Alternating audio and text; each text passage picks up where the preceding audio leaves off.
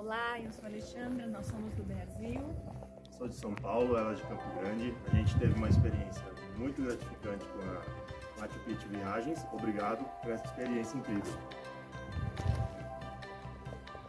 Aê!